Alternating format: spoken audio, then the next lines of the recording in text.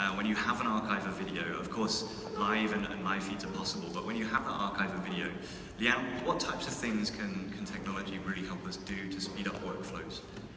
Yes, so um, I'm going to do a live demo here. It's pretty risky, I know that, so I have a video to back me up if it doesn't work.